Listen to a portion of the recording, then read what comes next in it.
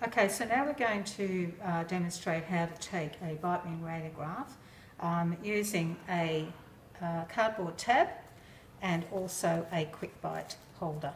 Okay, first with the bite, the bite wing tab, uh, you need to just double check that uh, Dexter's occlusal plane is approximately parallel to the floor.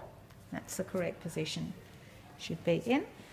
Uh, you then need to open Dexter's mouth as wide as possible. Okay, and you hold, you place the film in the mouth. In Dexter, patients you can ask them to move their tongue, but with Dexter you have to move it physically yourself. Okay, you slide your film in, you place it in the required position, you hold on to the tab as you close. Okay, so you need to make sure that you have an equal amount of the tab uh, exposed. Okay, make sure Dexter's biting firmly. You then bring your PID. Now, it's anything from 0 to plus 10 for tab bite wings. Uh, I know the textbook mainly say plus 10, but it depends on your actual patient.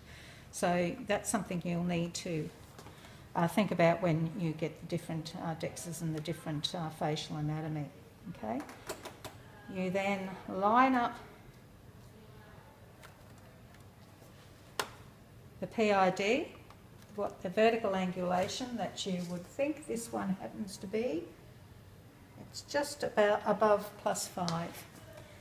Okay. And then you have to think about your horizontal angulation. So you have to visualise the central beam. I tend to use this line as a bit of a guide. The central beam going through the contact points of the teeth. And that's the most important thing about bite wings is making sure that you um, don't have overlaps and the surfaces are clearly visible. Okay, so when you're happy that you've got it aligned, you then go away and you expose as you've been shown. Okay, once it's been taken, remove this.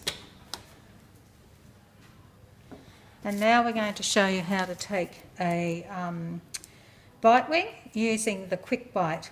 So you push that up, turn it over the back, make sure it's nice and even. Might have to push it through a little bit to one side.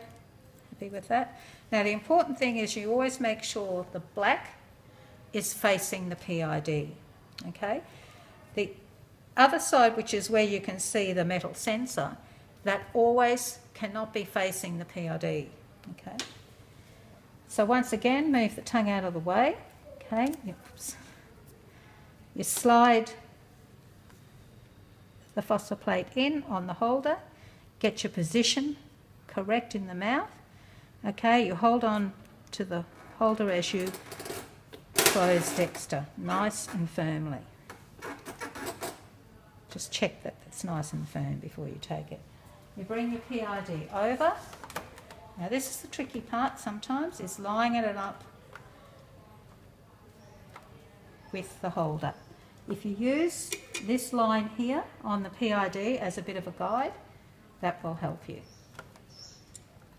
So you have to be patient with this. Sometimes the PID moves after you put it in the position that you're happy with. Okay, so you then have to adjust it. Now remember, if you put it in the correct position, you don't have to visualise much at all because the holder is doing that job for you. The holder is making sure the horizontal angulation is correct. Vertical needs to be up, changed a bit there. And you can tell that if you look down from above and you can see that the rod of the quick bite is actually flush with the line on the or with the PID. Okay, if you have that, then you should not get overlap. Okay, always double check, make sure that you the vertical is correct by being in line with that line. If you have a look at that, you can see that the vertical then will be correct. Okay, then you can take the radiograph.